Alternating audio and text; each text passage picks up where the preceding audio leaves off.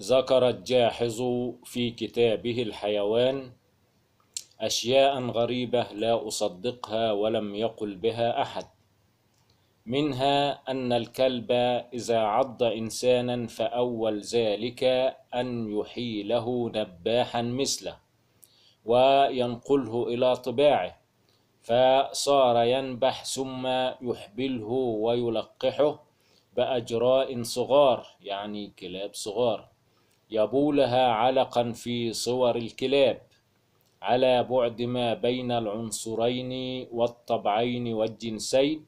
ثم قال ولكني لم أعاين ذلك وما كتبته هو ما سمعته. وقال إن البغل يلقح البغلة ولكن أولادها لا تبقى. وذلك سبب لمنع تلقيحها من البغل وحدوثه بين الفرس والحمار. ثم ذكر أن الكلبة تحمل لأكثر من كلب في بطن واحدة.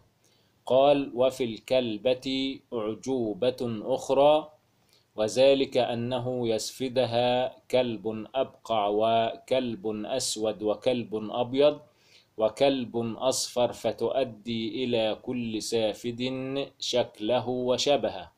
يعني تحمل من كل كلب في بطن واحدة وهذا لم يقل به أحد من علماء الأحياء ولا الطب البيطري. ثم قال إن الضبع تكون عاما ذكرا وعاما أنثى.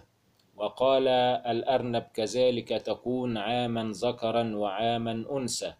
ومما يدل على خطأ ما قال إن أغلب أهالي القرى يربون الأرانب ولم نسمع منهم ذلك. ثم قال إن الديك إذا عمر يعني كبر في السن يبيض في عمره بيضة واحدة تسمى بيضة العقر لأنها لا تتكرر إلا مرة واحدة في عمره. واستدل بقول بشار وقد رأى في النوم حبيبته رحمة يا أطيب الناس ريقا غير مختبر إلا شهادة أطراف المساويك منيتنا زورة في النوم واحدة سني ولا تجعليها بيضة الديك يا رحمة الله حلي في منازلنا. حسبي برائحة الفردوس من فيك ولم نكمل الأبيات لأنه قال ألفاظ غير مباحة.